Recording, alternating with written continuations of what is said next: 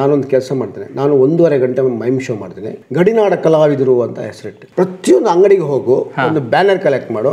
ಅವರಿಂದ ಒಂದು ಐನೂರು ಒಂದು ಸಾವಿರ ರೂಪಾಯಿ ಇಸ್ಕೊ. ಆ ಬ್ಯಾನರಲ್ಲಿ ಅರ್ಧ ನಿಮ್ಮ ನಾಟಕದ ಹೆಸರು ಅಡ್ವರ್ಟೈಸ್ಮೆಂಟ್ ಹೌಸ್ಫುಲ್ ಶೋ ಮೈ ಒಂದೂವರೆ ಗಂಟೆ ನಾನ್ ಸ್ಟಾಪ್ ಕೊನೆ ಒಂದು ಇದರಲ್ಲಿ ನಾನು ಬಿದ್ದುಬಿಟ್ಟೆ gate collection twenty five thousand ಆವಾಗ ಹೊಡೆಯೋಕೆ ಸಮೇತ ಬಂದಿದ್ರು. ನಾನು ಬಸ್ ಇಳಿಯುವಾಗ ಅಲ್ಲಿ ಏನಾಯ್ತಂದ್ರೆ ನನಗೆ ಫ್ರೆಂಡ್ಸ್ ಎಲ್ಲ ಶಿಷ್ಯಂದ್ರು ತುಂಬ ಜನ ಆಯಿತು. ನನಗೆ ತುಂಬ ಜನ ಹೆಲ್ಪ್ ಮಾಡಿದರು.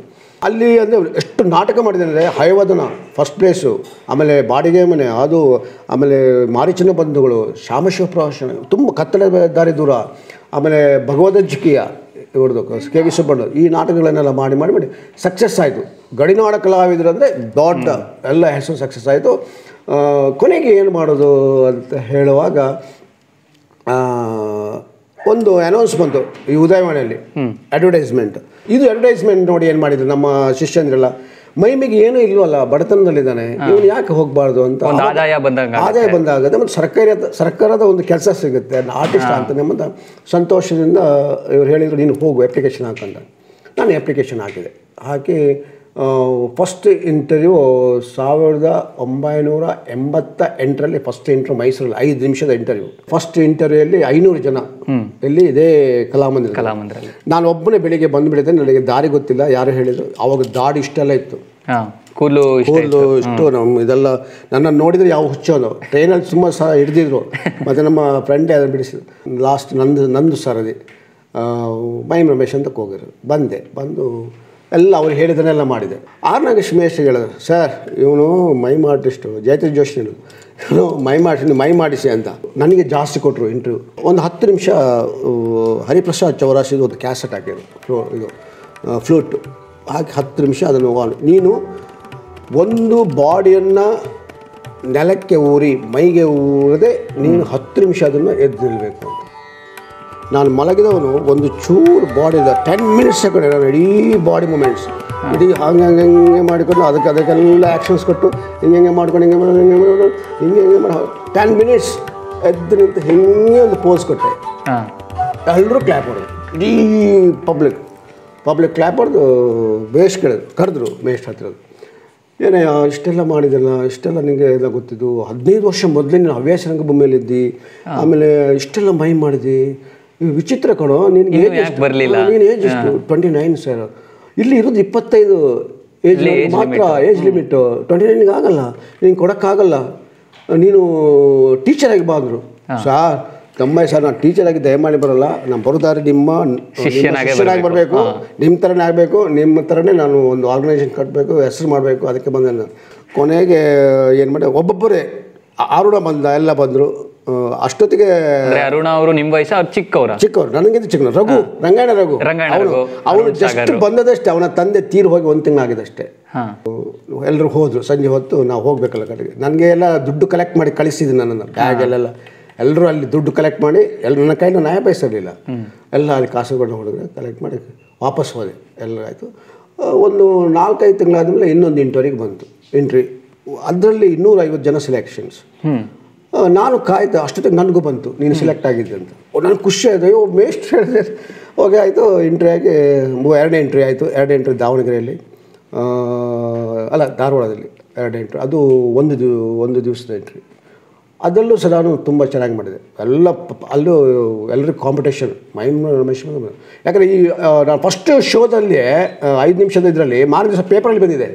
ನನ್ನ ಇಡೀ ಬಯೋಡಾಟಾ ಮೈಮ್ ರಮೇಶ್. ಬಂದರೆ ಇದು ಬಂದರೆ ಅಂತ ನನ್ನ ಪೇಪರ್ ಇದೆ ಕಟ್ಟಿಂಗಲ್ಲಿ ನೆಕ್ಸ್ಟ್ ಫಸ್ಟ್ ಸೆಕೆಂಡ್ ಇಂಟರ್ವ್ಯೂ ಸಹ ಪಾಸ್ ಆದೆ. ಸೆಕೆಂಡ್ ಇಂಟರ್ವ್ಯೂ ಪಾಸ್ ಪಾಸ್ ಆಗುತ್ತೆ ಆಗಿದೆ. ಬಂತು ಲೆಟ್ರ್ ಆಮೇಲೆ ಪುನಃ ಹೋದೆ. ಏ ನೀನು ಪಾಸಾಗಿ ಪುನಃ ಬಂದಿಲ್ಲ ಕಣದು. ಅದು ನೆಕ್ಸ್ಟ್ ಮೂರನೇ ಇಂಟರ್ವ್ಯೂಲ್ಲಿ ಮೂರು ದಿವಸ ಇಂಟರ್ವ್ಯೂ ಅದು. ಮೂರು ದಿವಸ ಯಾಕೆಂದ್ರೆ ಇಂಟರ್ವ್ಯೂ ಒಬ್ಬ ನಟನ ಎಲ್ಲವನ್ನ ಕಲಿಬೇಕಂತ ಉದ್ದೇಶದಿಂದ ಮೇಸ್ಟ್ ಏನು ಮಾಡಿರಂದ್ರೆ ಒಂದು ರೆಪರ್ಟ್ರಿ ಕಂಪನಿ ಎಲ್ಲ ಹೋಗುತ್ತೆ ಬಸ್ಸಲ್ಲಿ ಬಸ್ಸಲ್ಲಿ ಹೋದಾಗ ಎಲ್ಲೋ ಹಾಳಾಗುತ್ತೆ ಟೈರ್ ಪಂಚರ್ ಆಗುತ್ತೆ ಏನೋ ಆಗುತ್ತೆ. ಆಗ ಒಂದು ಕಾಡಲ್ಲಿ ಒಂದು ನಿಲ್ಲುತ್ತೆ ಅದು. ಆಗ ನೀವು ಏನು ಮಾಡ್ತೀರಾ? ಟೀಮ್ ವರ್ಕ್ ಆ ಟೀಮ್ ವರ್ಕ್ ಹೆಂಗಿದೆ ಎಂಬುದ ಒಂದು ಪರೀಕ್ಷೆ ಅವ್ರದ್ದು ಎಂಬತ್ತೇಳರಲ್ಲಿ ಏನು ಮಾಡಿದ್ರು ಅಂದರೆ ಕಾಸರಗೋಡಲ್ಲಿ ನನಗೊಂದು ಸನ್ಮಾನ ಮಾಡಿದರು. ಇವನು ಇನ್ನೂ ಗ್ಯಾರಂಟಿ ಹೋಗ್ತಾರೆ ರಂಗಾಯಣಕ್ಕೆ. ಸನ್ಮಾನ ಮಾಡೋಣ ಇವನಿಗೆ ಅಂತೇಳಿ ಅಲ್ಲಿ ಎಲ್ಲ ಪಬ್ಲಿಕ್ ಎಲ್ಲ ಸೇರಿ ನನಗೆ ಮತ್ತು ಕೈಯಾರ್ ಕಿಂಜನ್ ರೈ ಆಮೇಲೆ ನೀವು ಶ್ರೇಣಿ ಶೇಣಿ ಗೋಪಾಲಕೃಷ್ಣ ಭಟ್. ಯಕ್ಷಗಾನದ ಒಬ್ಬ ಅತಿಯಾದ ಒಬ್ಬ ವ್ಯಕ್ತಿ. ಕೈಯಾರ್ ಕಿಂಜನ್ ರೈ ಸಾಹಿತಿಯವರು. ಒಂದು ರಂಗಭೂಮಿ. ಯಾರಿಂದ ಸನ್ಮಾನ ಮಾಡೋದಂದ್ರೆ ಶಿವರಾಮ್ ಕಾರಂತರ ಮಾಡೋದು. ಶಿವರಾಮ್ ಕಾರಂತ ಒಂದು ಸನ್ಮಾನ ಮಾಡಿದ್ರು. ಶಿವರಾಮ್ ಕಾರಣ ಅಂತ ಒಂದು ಮಾತು ಹೇಳಿದ್ರಲ್ಲಿ ಏನಂದರೆ ಗೋಪಾಲಕೃಷ್ಣ ಅವ್ರಿಗೆ ಗೊತ್ತು ನನಗೆ ಯಕ್ಷಗಾನದು ಭಾರಿ ಫೇಮಸ್ ಇದೆಲ್ಲ. ಕೈಯಾರ್ ಕಿಂಜನ್ ನಮ್ಮವರೇ. ಸಾಹಿತ್ಯ ಈ ಸಣ್ಣ ಹುಡುಗ ಯಾರಂತಲೇ ಗೊತ್ತಾಗಿರಲ್ಲ ದಾಡಿ ಎಲ್ಲ ಬಿಟ್ಟು ಅಂತ ಅವ್ರು ರಂಗಕರ್ಮಿ ಅಂತ ಹೇಳಿದ್ರು ನಂಗೆ ಖುಷಿ ಆಯಿತು. ನಿಜವಾಗಿ ಇಂಥವ್ರಿಗೆ ಸನ್ಮಾನ ಮಾಡೋದು ಒಳ್ಳೆಯದಾಯಿತು ಅಂತೇಳಿ ನಾನು ಅಲ್ಲೇ ಇದ್ದೆ. ಅಷ್ಟೊತ್ತಿಗೆ ಒಂದು ಫೋನ್ ಬಂತು ನಮ್ಮ ಫ್ರೆಂಡಿಗೆ ಅರ್ಜೆಂಟ್ ಮನೆಗೆ ಹೋಗ್ಬೇಕಂತ. ನಾಳೆ ರಂಗಾಯಣಕ್ಕೆ ಹೋಗ್ಬೇಕು. ಹಾ ಇವತ್ತು ಮನೆ ಇವತ್ತು ಮನೇಲಿ ಸ್ಟೋಕ್ ತಂದೆ. ಅವರು ಯಾಕೆ ಸ್ಟ್ರೋಕ್ ಅಂದ್ರೆ ನಿನ್ನದೇ ಮಾರ ಎಲ್ಲ ಇದು ಮಾಡಿ ಎಲ್ಲ ಚಿಂತೆ. ಚಿಂತೆಯಲ್ಲಿ ಸ್ಟೋಕ್ ಹೋಗಿ ಹಾಸ್ಪಿಟ್ಲಿಗೆ ಹೋಗಿ ನನಗೆ ನೋಡೋಕ್ಕಾಗಿಲ್ಲ ಎಲ್ಲ ಮೂಗಲ್ಲಿ ಇದೆಲ್ಲ ಹಾಕಿದ್ದಾರೆ ವೈರ್ಸ್ ಎಲ್ಲ ಇದೆಲ್ಲ. ಆಗ ಡಾಕ್ಟ್ರ್ ಹೇಳಿದೆ ಡಾಕ್ಟ್ರ್ ಕರೆದಿಲ್ಲ ಇದು ಗಾನ್ ಕೇಸ್ ಇದನ್ನು ಉಳಿಸೋಕ್ಕಾಗಲ್ಲ ಮತ್ತು ನಿಮಗೆ ದುಡ್ಡು ಇಲ್ಲ ಉಳಿಸೋಕ್ಕೆ ಆಮೇಲೆ ಸಾಲ ಮೂಲ ಮಾಡಿ ಮಾಡಿ ನೀವು ವೇಸ್ಟ್ ಅಣ್ಣನ ಅದೇ ಹೇಳಿದ ಈಗ ನಿನ್ನ ಲೈಫು ರಂಗಭೂಮಿ. ರಂಗಭೂಮಿ. ನೀನು ಸರ್ಕಾರ ಏನೋ ಕರಿತಾ ಇದೆ. ಹೋಗು. ಸಿಲೆಕ್ಟ್ ಆಗಿದೆ ಹೋಗು. ನಿನ್ನ ಲೈಫ್ ಇಂಪಾರ್ಟೆಂಟ್ ನಿನ್ನ ಅಪ್ಪ ಇಂಪಾರ್ಟೆಂಟ್ ಅಲ್ಲ ಇದು. ಆ ದಿವಸ ಆವಾಗ ಎಲ್ಲ ನನ್ನ ಮಂಗಳೂರಿನ ಫ್ರೆಂಡ್ಸ್ ಎಲ್ಲ ಬಂದು ದುಡ್ಡೆಲ್ಲ ಕೊಟ್ಟು ಜೇಬಲ್ಲಿ ರಾತ್ರಿ ಹೊತ್ತು ನನ್ನ ಬ್ಯಾಗ್ ಎಲ್ಲ ರೆಡಿ ಮಾಡಿದರು. ತಂದೆಯ ಕಾಲು ಮುಟ್ಟಿ ಆ, ತುಳಸಿ ಎಲೆಯಲ್ಲಿ ನೀರು ಬಿಟ್ಟು. ಅದೆಲ್ಲ ಮಾಡಿ ಕೈ ಮುಗಿದು ಅಕ್ಕನಿಗೆ ಕೈ ಮುಗಿದು ಹೊರಟೆ. ಇಷ್ಟ ಈ ಟೈಮಲ್ಲಿ ಅಣ್ಣಂದ್ರಿಗೆಲ್ಲ ಮದುವೆ ಆಗಿತ್ತಾ?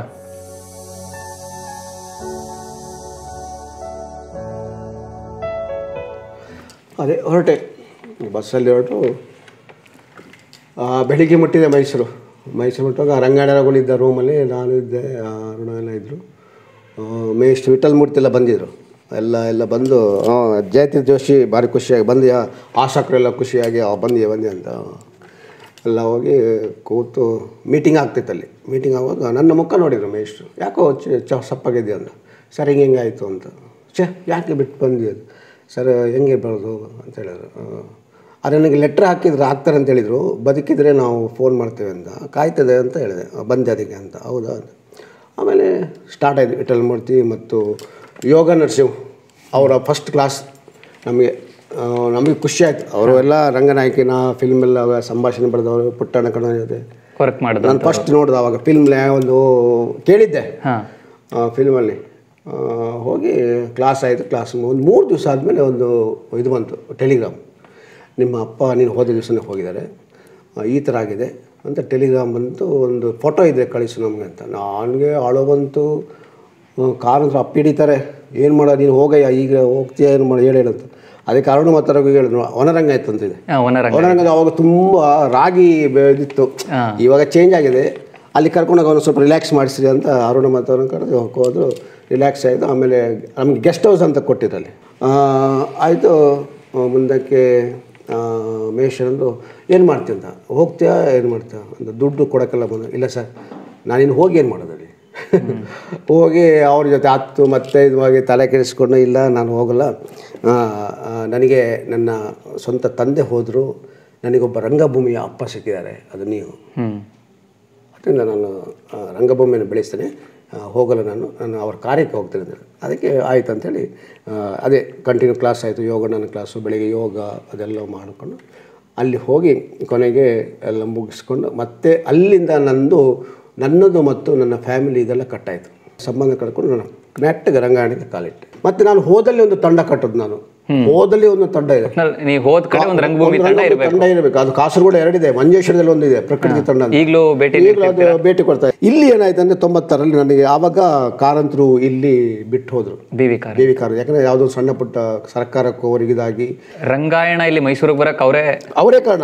ರಂಗಾಯಣದ ಒಂದು ಫಸ್ಟ್ ನಾಟಕನೇ ಪುಣ್ಯಕೋಟೆ ಮತ್ತು ಕಿಂದಜಿಗೆ ಪುಣ್ಯಕೋಟೆಯಲ್ಲಿ ಪುಣ್ಯಕೋಟೆ ನಾನೇ ಮಾಡಿದ್ರು ಅವ್ರಿಗೆ ತುಂಬಾ ಇಷ್ಟ ಪುಣ್ಯಕೋಟೆ ಅಂತ ತಕ್ಷಣ. ನನಗೆ ಈಗಲೂ ಪುಣ್ಯಕೋಟೆ ಅಂತ ಹೆಸರು. ಮೇಷ್ಟು ಅವಾಗ ರಿ- ಜಿ ಕರ್ಕೊಂಡು ಹೋದರು. ಬೇಡ ಅಂತ. ಇವರು ರಿಸೈನ್ ಮಾಡಿದರು. ಆವಾಗ ನಮಗೊಂದು ಆರು ವರ್ಷ ಮೇಷ್ಟ್ರು ಇಲ್ಲೇ ಇದ್ದರು ಮೇಷ್ಟ್ರ ಎಲ್ಲ ಮೇಷ್ಟ್ ಇರುವಾಗ ಆದಂಥ ರಂಗಾಯಣ ಇದೆಲ್ಲ ಇವತ್ತಿಗೂ ಅದು ಕಳಪೆ ರಂಗಾಯಣ. ಆವಾಗ ಆರು ವರ್ಷದಲ್ಲಿ ಕಲ್ತ ಇದಿದಲ್ಲ ಅದು ವಿಶ್ವಕೋಶ. ಇವತ್ತಿಗೂ ಆ ಭರತನಾಟ್ಯದಲ್ಲಿ ಬರುವಂಥದ್ದು ಯಾವುದೆಲ್ಲ ಭರತನಾಟ್ಯ ಪುಸ್ತಕ ಈಗಲಿದೆ ನಮ್ಮ ಹಾ. ಆ ಓದಿದ್ರು ಅದಲ್ಲ ಅದು ಮಾ ಮೇಸ್ಟ್ ಮಾಡಿದ ಕೆಲಸ ಇದೆಲ್ಲ ರಂಗಭೂಮಿಗೆ. ಎಲ್ಲ ಪಾಶ್ಚಾತ್ಯ ರಂಗಭೂಮಿ, ಗ್ರೀಕ್ ರಂಗಭೂಮಿ, ಕ, ಸಂಸ್, ಸಂಸ್ಕೃತ ರಂಗಭೂಮಿ, ಆಮೇಲೆ ಇದು, ಎಲಿಜಬೆತ್ ರಂಗಭೂಮಿ, ಯುರೋಪ್ ರಂಗಭೂಮಿ ಇದ್ರ ಬಗ್ಗೆ ತುಂಬ ತುಂಬ ನಮ್ಗೆ ಹೇಳಿದರು. ಆಮೇಲೆ ನೆಕ್ಸ್ಟ್ ಕಾರಂತರು ಹೋದ್ಮೇಲೆ ಸರ್ಕಾರ ಬಸವಲಿಂಗನ ಫಿಕ್ಸ್ ಮಾಡಿದ್ರು. ನಾನು ಆವಾಗ ಚಿನ್ನರ ಮೇಳ ಮಾಡುವಾಗ, ನನಗೊಂದು ಮೆಮೊ ಬಂತು. ಮೇವ ಬಂದಾಗ ಏನೋ ನೀನು ರಂಗಾಯಣಕ್ಕೆ ರೆಪಾರ್ಟ್ರಿ ಕಟ್ಟಕ್ಕೆ ಹೋಗಿದ್ದೆ ಚಿನ್ನರ ಮೇಲೆ ಮಾಡ್ತಿದ್ದಿಲ್ಲ ಏನದು? ರಂಗಾಯಣದಲ್ಲಿ ಇದ್ಕೊಂಡು ನಿನ್ನನ್ನು ಯಾಕೆ ಕೆಲಸದಿಂದ ತೆಗಿಬಾರ್ದು ಅಂತ ಒಂದು ಮೆಮೊ ಮೆಮೊ ಈಗಲಿದೆ ಅದು. ದೊಡ್ಡ ಮೆಮೊ ಮೆಮೊ ಅದೇ ಆನ್ಸರ್ ಕೊಟ್ಟೆ. ಸರ್ ನಾನು ರಂಗಭೂಮಿಯನ್ನು ಮೇಸ್ಟ್ ನನಗೆ ಹೇಳಿಕೊಟ್ಟಿದ್ದೇನೆ ರಂಗಭೂಮಿಯನ್ನು ಬೆಳೆಸಬೇಕು. ಬೆಳೆಸಬೇಕು. ನಟರನ್ನು ಬೆಳೆಸಬೇಕು. ಇವತ್ತು ರಂಗಾಯಣ ರೆಪರ್ಟ್ರಿ ಆಯೋದ ಆದೋಕ್ಕೆ ಮುಖ್ಯ ಕ- ಯಾವುದು ಕಾರಣ ಅಂದರೆ ಇಲ್ಲಿ ನಟರು ಇಲ್ಲ. ರಂಗ ರಂಗಭೂಮಿಯಲ್ಲಿ ನಟರಿಲ್ಲ. ನಟರನ್ನು ಹುಟ್ಟಿಸಬೇಕೆಂಬಂಥ ಉದ್ದೇಶದಿಂದ ರಂಗಾಯಣ ಹುಟ್ಟಿದ್ದು. ಆಮೇಲೆ ರಂಗಭೂಮಿಯನ್ನು ಬೆಳೆಸೋದಕ್ಕೋಸ್ಕರ ರಂಗಾಯಣ ಹುಟ್ಟಿದ್ದು. ಮಕ್ಕಳ ರಂಗಭೂಮಿಯನ್ನು ಬೆಳೆಸೋದಕ್ಕೋಸ್ಕರ ರಂಗಾಯಣ ಹುಟ್ಟಿ ಡೈರೆಕ್ಟಾಗಿ ಆನ್ಸರ್ ಕೊಟ್ಟೆ ಬಸವಲಿಂಗನಿಗೆ ಇದರಲ್ಲಿ ಯಾವುದೇ ತಪ್ಪಿಲ್ಲ. ಅಂತ ಇವತ್ತಿಗೂ ವೈದೇಹಿ ಬರೆದ ಬುಕ್ ಇದೆಯಲ್ಲ ಇಲ್ಲಿರಲಾರೆ ಅಲ್ಲಿಗೆ ಹೋಗಲಾರೆ. ಅಲ್ಲಿ ನನ್ನ ಮುನ್ನೂರ ಅರವತ್ತನೇ ಪೇಜಲ್ಲಿ ನನ್ನ ಹೆಸರು ಮೆನ್ಷನ್ ಮಾಡಿದ್ದಾರೆ. ಆ ಇದರಲ್ಲಿ ಕೃತಿಯಲ್ಲಿ. ಒಬ್ಬ ನಟ ಸಿಕ್ಕಿದ ನನಗೆ. ಅವನೇ ಮೈಮ್ ರಮೇಶ್. ಅವನದೇ ಆದ ಶೈಲಿ ಅವನದೇ ಆದ ಗೆಸ್ಟರ್ಸ್ ಅವನದೇ ಆದ ಮಾತು. ಅಲ್ಲಿ ಆ ಬುಕ್ ಓದಿದ್ರೆ ನಿಮ್ಗೆ ಗೊತ್ತಾಗುತ್ತೆ. ಅಲ್ಲಿ ಬರೆದಿದ್ದಾರೆ ಟಿಕ್ ಮಾಡಿದ್ದಾರೆ. ಆತ್ಮಕತ್ರ ಆತ್ಮಕಥನ ಚರಿತ್ರೆ ಬರ್ತದೆ ವೈದೇಹಿ ಬರ್ತದೆ ಅದಕ್ಕೆ ಬಸ್ಸು ಏನು ಮಾಡಿದರು? ಸಾವಿರದ ಒಂಬೈನೂರ ತೊಂಬತ್ತೇಳರಲ್ಲಿ ರಂಗಾಯಣದಲ್ಲಿ ಚಿನ್ನರೆ ಮೇಳ ಸ್ಟಾರ್ಟ್ ಮಾಡಿದರು ನಾನು ಬಿಟ್ಟುಬಿಟ್ಟೆ ನಾನು ರಂಗಾಯಣದವಾಗಿ ಇದ್ಕೊಂಡು ಇಲ್ಲಿ ಮಾಡಬಹುದು ಜಿ ಪಿ ಐರಿಗೆ ರಂಗಾಯಣಕ್ಕೆ ಮಾಡಿ ಅದರಲ್ಲೇ ಇನ್ವಾಲ್ವ್ ಆಗಿಬಿಟ್ಟೆ. ಆವತ್ತಿನಿಂದ ಇವತ್ತಿನವರೆಗೂ ಚಿನ್ನರೆ ಮೇಳ ನಡೀತಾ ಇದೆ. ಅದು ಫಸ್ಟ್ ಟೈಮ್ ಮಾಡಿದ್ದೆ ಚಿನ್ನರ ಮೇಳ ಮೈಸೂರು ಕ್ಯಾಂಪಸಲ್ಲಿ ನಾನೇ. ಇವತ್ತಿಗೂ ಚಿನ್ನರ ಮೇಳ ಅಂದರೆ ಇಡೀ ರಂಗಾಯಣದ ಚಿನ್ನರ ಮೇಳ ಅಂದರೆ ಇಡೀ ಸ್ಟೇಟ್ ಅಂತಾರಾಷ್ಟ್ರೀಯ ಗೊತ್ತು ಸರ್ ಎಷ್ಟು ಕ್ಯೂ ನಿಂತ್ಕೋತಾರೆ ನಾನೇ ಸಂಚಾಲಕ ತುಂಬ ಆಗಿದ್ದೀನಿ. ಆಮೇಲೆ ಇನ್ನೊಂದೇನೆಂದರೆ ನಾನು ಒಂದು ಗಂಟೆ ಆರುನೂರು ಜನ ಮಕ್ಕಳಿಗೆ ಕ್ಲಾಸ್ ಮಾಡೋದಿದ್ರೆ ಮಕ್ಕಳು ಅದು ಬ್ಯಾಚಿಗೆ ಹೋಗೋಕ್ಕಾಗಲ್ಲ ಅವರಿಗೆ. ಒಂದು ಗಂಟೆ ನಾನು ಒಬ್ಬನೇ ಹ್ಯಾಂಡಲ್ ಮಾಡಿದೆ ಆರುನೂರು ಜನ ಮಕ್ಕಳನ್ನು. ಅದೊಂದು ಸಾಮರ್ಥ್ಯ ನನಗೆ ಕೊಟ್ಟಿದ್ದಾರೆ. ಮೇಷ್ಟ್ರು ಅದನ್ನೇ ಹೇಳೋದು. ಗುರುಗಳಿಂದ ಬಂದಂತ ಬಳುವಳಿ ಅಂತ ಬಳುವಳಿ ಅಂತ. ಅದರಿಂದ ಅದು ಬೆಳೆ ಬೆಳೀತಾ ಜಿ ಪಿ ಆರ್ ನಾಟಕಗಳು ಆಗ್ತಾ ಆಗ್ತಾ ಆಗ್ತಾ ಜಿ ಪಿ ಐ ಆರ್ ಸಮ್ ಜಿ ಅಂದ್ರೆ ಗೆಶ್ಚರ್ ಗೆಶ್ಚರ್ ಅಂದ್ರೆ ಮುದ್ರೆ. ಪಿ ಅಂದ್ರೆ ಪೋಷರ್ ಭಂಗಿ ಭಂಗಿ ಪೋಷರ್ ಭಂಗಿ ಅದು. ಜಿ ಪಿ ಐ ಅಂದ್ರೆ ಇಮ್ಯಾಜಿನೇಷನ್ ಕಲ್ಪನಾ ಕಲ್ಪನಾ ಒಬ್ಬ ನಟನಿಗೆ ಇರಬೇಕು ಕಲ್ಪನಾ ಶಕ್ತಿ ಇ ಅಂದರೆ ಎಕ್ಸ್ಪ್ರೆಷನ್ ಅಂದ್ರೆ ಎಕ್ಸ್ಪ್ರೆಷನ್ ಮುಖದ ಹಾವಭಾವ. ಮೈಮಲ್ಲಿ ಇದು ಇಂಪಾರ್ಟೆಂಟ್ ನವರಸಗಳು ಇದೆಲ್ಲ ಇಂಪಾರ್ಟೆಂಟ್ ಈ G P I E R ಅಂದ್ರೆ ರಿದಮ್ ಮತ್ತು ಲಯ. ತಾಳ ಮತ್ತು ಲಯ. ತಾಳಕ್ಕೆ ಲಯ ಹೊಡೆಯುದು. ಇದು ಐದು ಅಂಶ ಇಲ್ಲದಿದ್ದರೆ ನಟನಲ್ಲಿ ಅವನು ಸ್ಟೇಜ್ ಹತ್ತಕ್ಕೆ ನಾಲಾಯಕ್ ಭಾಷೆ ಎಲ್ಲೆಲ್ಲೋ ಬರುತ್ತೆ. ಅದು ಇದು ಎಲ್ಲ ಈ ಸೆನ್ಸ್ ಇಲ್ಲದಿದ್ರೆ ಅವನು ಸ್ಟೇಜಲ್ಲಿ ಏನು ಮಾಡ್ತಾನೆ ಅವನು? ಇದೇ ಒಂದು ಬೆನ್ನೆಲುಬು. ಬೇಸ್ಮೆಂಟ್ ಅದಕ್ಕೆ. ಸರ್ ನಿಮ್ಮ ಬಾಲ್ಯದಿಂದ ತಿಳ್ಕೊಂಬಂದ್ವಿ. G P I E R ತಂಡದ ಬಗ್ಗೆನೂ ತಿಳ್- ತಿಳ್- ತಿಳ್ಕೊಂಡ್ವಿ. ನೆಕ್ಸ್ಟು ನಿಮ್ಮ ದಾಂಪತ್ಯದ ಜೀವನದ ಬಗ್ಗೆ. ಮದುವೆ ಯಾವಾಗ ಆಯಿತು? ಅದ್ರ ಬಗ್ಗೆ ಸ್ವಲ್ಪ ಹೇಳಿ. ಅದು ನನಗೆ ಮದುವೆ ಆಗಬೇಕಂತ ಯಾವುದೇ ಇದಿರಲಿಲ್ಲ. ಎಲ್ಲ ಒತ್ತಾಯ ಮಾಡ್ತಿದ್ರು. ಆವಾಗಲೇ ನನಗೆ ಫಾರ್ಟಿ ಇಯರ್ಸ್ ಆಗಿತ್ತು. ಯಾಕಂದರೆ ಆವಾಗ ಮದುವೆದ ಬಗ್ಗೆ ಇದಿಲ್ಲ. ಎಲ್ಲರ ಫ್ರೆಂಡ್ಸ್ ಎಲ್ಲ ಸೇರಿ ಮದುವೆ ಮಾಡಬೇಕು ಹಠ ಇರ್ತಿದ್ರು ಅದೇ ನಮ್ಮ ಹುಡುಗಿ ಯಾರು ಕೊಡ್ತಾರೆ? ಯಾರು ಮುಂದೆ ಬರಲಿಲ್ಲ. ಲಾಸ್ಟಿಗೆ ನನ್ನ ಇವಳು ರೇಣುಕ ಸ್ಟೂಡೆಂಟ್ ಆಗಿದ್ಲು.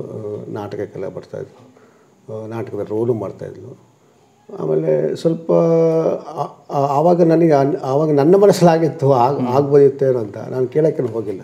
ನಮ್ಮ ನನ್ನ ಶಿಷ್ಯಂದ್ರ ಮಾತ್ರ ತುಂಬ ಟ್ರೈ ಮಾಡಿದ. ಆಮೇಲೆ ಅವಳು ಎಜುಕೇಷನ್ಸ್ ಬಗ್ಗೆ ಜಾಸ್ತಿ ಥಿಂಕ್ ಮಾಡಿದ್ಲು.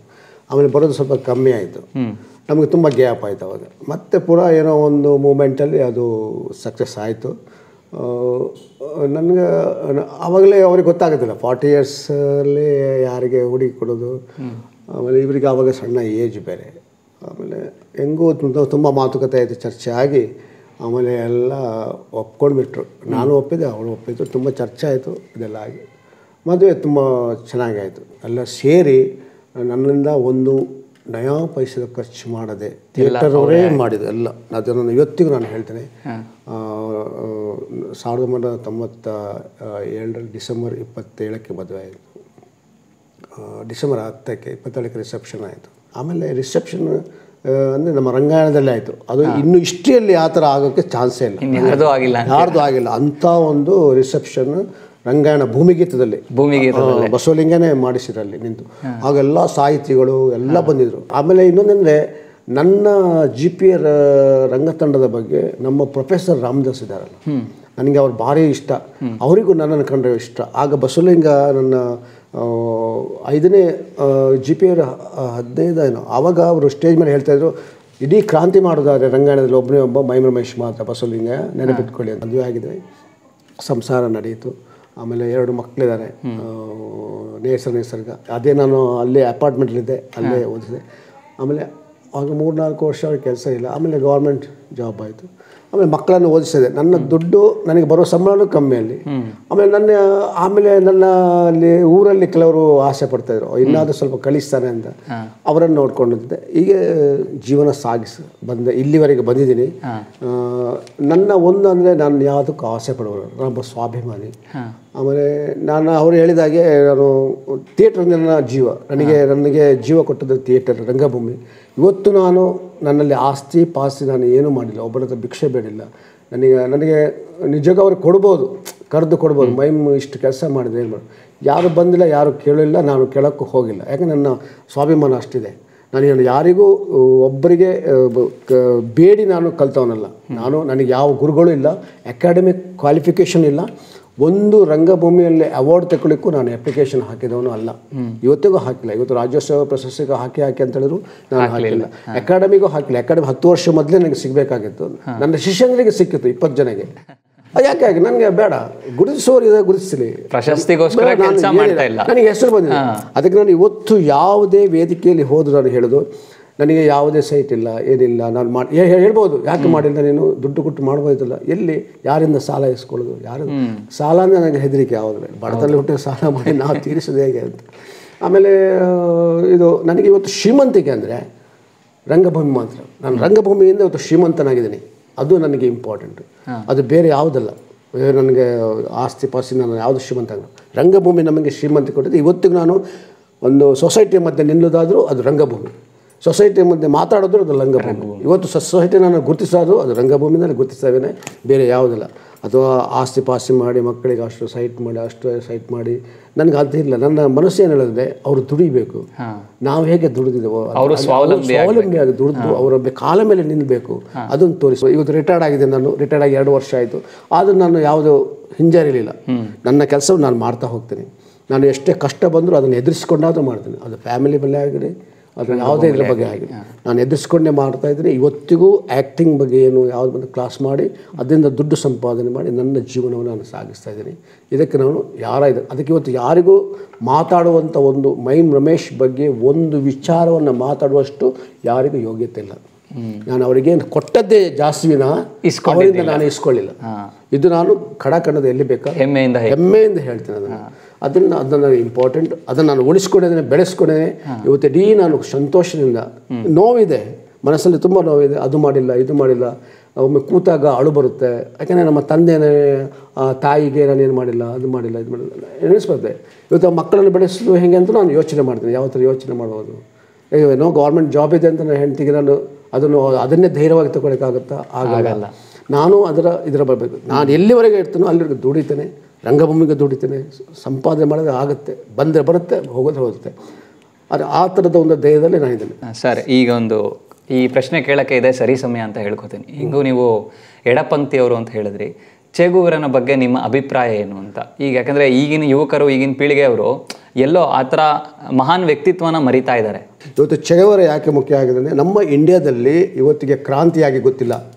ಸಾವು ನೋವು ಗೊತ್ತಿಲ್ಲ. ಜಲಿಯನವಾಲ್ ವಾಲ್ಬಾದ್ ಒಂದು ಬಿಟ್ಟರೆ ಇನ್ನು ಯಾವುದು ಆಗಿಲ್ಲ. ಜಲಿಯನವಾಲ್ ವಾಲ್ಬಾದ್ ಬಾವಿಯೊಳಗೆ ಎಷ್ಟು ಜನ ಸತ್ತಿದ್ದಾರೆ ಅಂತ ಅದು ನಿಜವಾಗಿ ಬಾಪು ಗಾಂಧಿ ಓದಿದ್ರೆ ನಮ್ಗೆ ಗೊತ್ತಾಗುತ್ತೆ.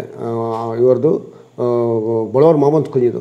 ಚೆಗುವಾರ ಒಬ್ಬ ಒಂದು ಅಷ್ಟು ಅರ್ಜೆಂಟೈನಾದಲ್ಲಿ ಒಬ್ಬ ಬಿಳಿಯವನಾಗಿ ಡಾಕ್ಟ್ರಾಗಿ ಹುಟ್ಟಿದವನು ಕೊನೆಗೆ ಅರ್ಜೆಂಟೈನ್ ಮೋಟರ್ ಸೈಕಲ್ ಅಡಿ ಅರ್ಜೆಂಟೈನ್ ಬಾರ್ಡರ್ ತೆಗಿ ಆ ಬಡಬಗ್ಗರ ನೋಡಿ ಕ್ಯೂಬಕ್ಕೆ ಸ್ವಾತಂತ್ರ್ಯ ಬೇಕಂತ ಬ್ಲ್ಯಾಕ್ ಅಂತ ಬರ್ತಾನೆ. ಯಾರು ಬರ್ತಾರೆ? ನಮ್ಮಲ್ಲಿ ಯಾರಿದ್ದಾರೆ?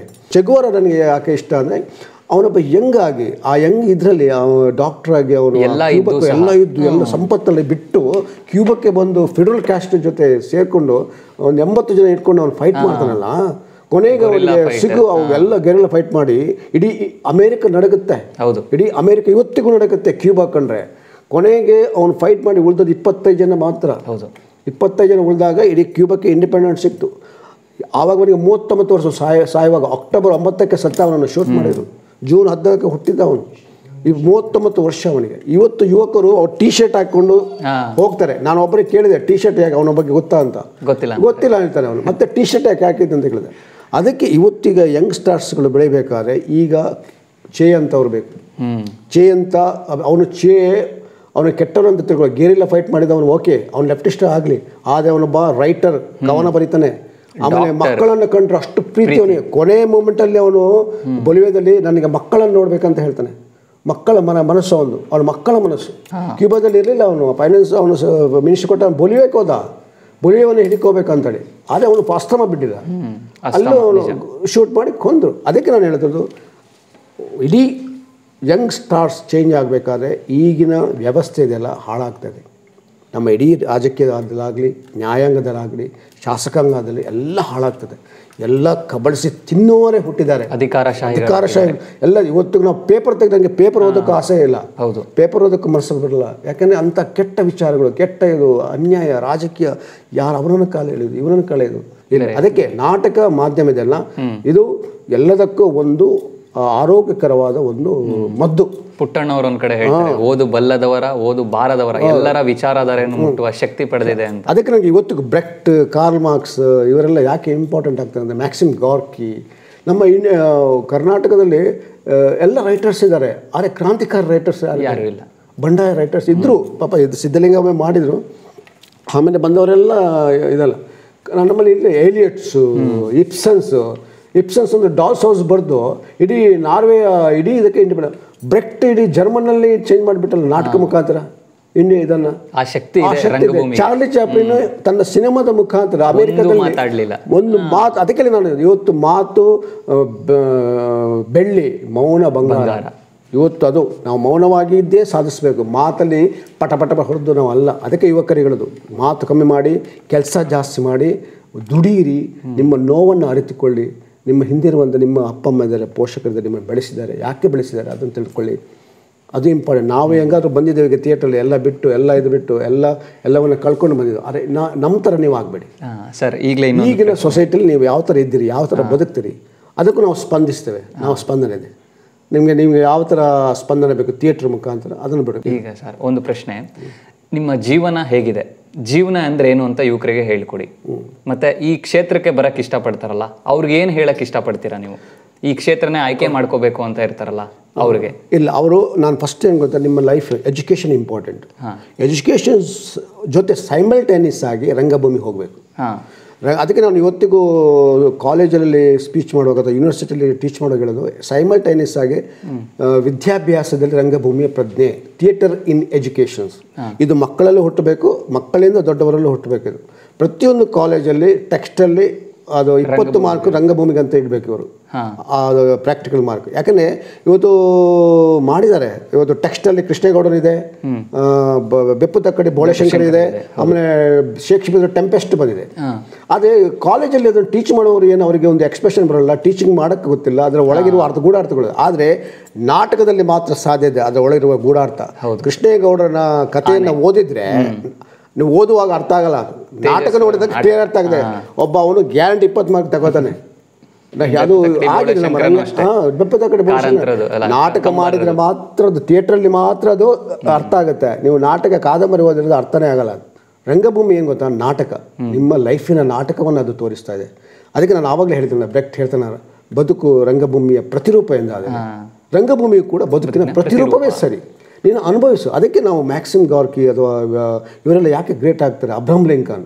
ಅವನು ಎಕ್ಸ್ ಪ್ರೆಸಿಡೆಂಟ್ ಅವನು ಅಮೆರಿಕ ಅಬ್ರಹಂ ಲಿಂಕನ್ ತನ್ನ ಮಗ ಮಗ ಶಿಷ್ಯ ಶಿಕ್ಷಣಿಗೊಂದು ಲೆಟರ್ ಹಾಕ್ತಾನೆ. ಕಲಿಸು ಗುರುವೇ ಕಲಿಸು. ಅದಕ್ಕೆ ಹೇಳೋದು ನಾನು ಯುವಕರಿಗೆ ಯೋಚನೆ ಮಾಡಿ ನಮ್ಮ ಸಮಾಜದಲ್ಲಿ ಏನೆಲ್ಲ ಆಗ್ತದೆ ಅದನ್ನು ಅದು ಆಗದಂಗೆ ಅಹಿಂಸಾತ್ಮಕವಾಗಿ ಅದನ್ನು ಹೆಂಗೆ ಮಾಡ್ಬೋದು ತಿಳ್ಕೊಳ್ಳುವಂಥದ್ದು. ಯಾವುದೇ ಜಾತಿ ಇದಕ್ಕೆ ಇಟ್ಕೊಂಡು ಹೋಗಬೇಡಿ ಹೋಗ್ಬೇಡಿ. ಒಂದು ಇಸಮ್ ಅಂತ ಇಟ್ಕೊಳ್ಬೇಡಿ. ಥಿಯೇಟ್ರಲ್ಲಿ ಇಸಮ್ ಇಲ್ಲ. ನೀವು ಯಾವುದೇ ಇಸಮ್ ಇಲ್ಲ. ಈಗ ನಾನು ಲೆಫ್ಟಿಸ್ಟ್ ಮೈಂಡಲ್ಲಿ ಬಂದ್ರೂ ನಾನು ನಾಟ್ಯಶಾಸ್ತ್ರ ಓದ್ತೇನೆ. ನನಗೆಲ್ಲ ನಾಟಕ ಬೇಕು ಸಂಸ್ಕೃತ ನಾಟಕ ಬೇಕು ಎಲ್ಲ ನಾಟಕಗಳು ಬೇಕು. ನಾನು ಅದನ್ನೇ ಅದು- ಜಾತಿ ಇಲ್ಲ. ಜಾತಿ ಇಲ್ಲ. ನಾನು ಕೆಲವರು ಹೇಳ್ತಾರೆ ಏಯ್ ನೀನು ಕೆಂಪು ನಾಮ ನಾಸ್ತಿಕ ಅಲ್ಲ ನೀನು ಯಾಕೆ ಇದಾಗ್ತದೆ ಇದಾಗ್ತಿದ್ದ? ಯಾರು ಹೇಳಿದ ನಾಸ್ತಿಕ ಅಂತ? ಲೆಫ್ಟಿಸ್ಟ್ ಅವರು ದೇವರ ನಮ್ಮ ನಂಬಿಕೆ. ನಾನು ಇನ್ನೊಬ್ಬರಿಗೆ ಹೇರಲ್ಲ. ನೀನು ಪೂಜಿಸ ನಾನು ನಂಬ್ತೇನೆ.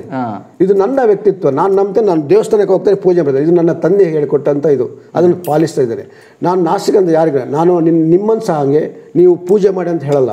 ನೀವು ಇವರನ್ನು ನಂಬಿ ಅಂತ ಹೇಳೋದು ನನಗೆ ಎಲ್ಲರೂ ಒಂದೇ. ನನ್ನ ಮನೆಯಲ್ಲಿ ಎಲ್ಲ ಇದ್ದಾರೆ. ದೇವರು ಬುದ್ಧನಿಂದ ಹಿಡಿದು ಎಲ್ಲರೂ ಇದ್ದಾರೆ. ನಾನು ಎಲ್ಲರೂ ನಂಬ್ತೇನೆ. ಅವರ ತತ್ವವನ್ನು ನಂಬ್ತೇನೆ. ಅವರ ಇದನ್ನಲ್ಲ ವ್ಯಕ್ತಿ ಪೂಜನೆ ಅವರ ತತ್ವ. ಇವತ್ತು ವಿವೇಕಾನಂದರ ತತ್ವವನ್ನೇ ನಂಬಬೇಕು ವಿನ ತತ್ವದ ಬ- ಇದರ ಬಗ್ಗೆ ಹೋಗಬೇಕು ವಿನ. ಅಂಬೇಡ್ಕರ ತತ್ವ ಅಂಬೇಡ್ಕರ್ ಜಾತಿ ಬಗ್ಗೆ ಅದನ್ನು ಅದನ್ನು ಇದು ಮಾಡಲ್ಲ. ನನಗೆ ಗಾಂಧೀಜಿ ಬ್ರಾಹ್ಮಣ ಅಂತ ನಾನು ಹೇಳಲ್ಲ. ಗಾಂಧೀಜಿ ಒಂದು ಮಾತು ಹೇಳಿದ್ದಾರೆ. ಏನಂದರೆ ಅವರು ಕೊನೆಗೂ ಹೇಳ್ತಾರೆ ನಾನು ನನ್ನ ಮನೆಯ ಕಿಟಕಿ ಬಾಗಿಲುಗಳನ್ನು ಮುಚ್ಚೋಕ್ಕೆ ಪ್ರಯತ್ನ ಮಾಡಲ್ಲ. ಅದು ಯಾವಾಗಲೂ ತೆರೆದಿಡಬೇಕು ಪ್ರಪಂಚದ ಎಲ್ಲ ಸಂಸ್ಕೃತಿಗಳು ಕಿಟಕಿ ಬಾಗಿಲಿನಿಂದ ನನ್ನ ಮನೆಗೆ ತೂರಿ ಬರಬೇಕು. ಆವಾಗಲೇ ನಾನೊಬ್ಬ ಸಮಾಜದ ವ್ಯಕ್ತಿ ಆಗ್ತೇನೆ ಅಂತ. ಇದು ಸತ್ಯ. ಈ ಆ ಯುವಕರು ಅದನ್ನು ಪಾಲಿಸ್ಕೊಂಡು ಬಂದರೆ ನಮ್ಮ ದೇಶ ಉದ್ಧಾರ ಆಗ್ತಾರೆ ಅವರು ಉದ್ಧಾರ ಆಗ್ತಾರೆ ಅವರ ಇಡೀ ಇದನ್ನು ಉದ್ಧಾರ ಆಗುತ್ತೆ. ಇದು ನಾನು ಯುವಕರಿಗೆ ಹೇಳುವಂಥ ಒಂದು ಮಾತು. ತುಂಬ ಥ್ಯಾಂಕ್ ಯು ಸರ್ ಧನ್ಯವಾದ. ಇಷ್ಟೊತ್ತು ನಿಮ್ಮ ಸಮಯ ಕೊಟ್ಟಿದ್ದಕ್ಕೆ ತುಂಬ ಧನ್ಯವಾದ ಸರ್ ಅವೇಕನಿಂಗ್ ಹುಡುಗರು ಯೂಟ್ಯೂಬಿಗೆ ಸಬ್ಸ್ಕ್ರೈಬ್ ಮಾಡಿ.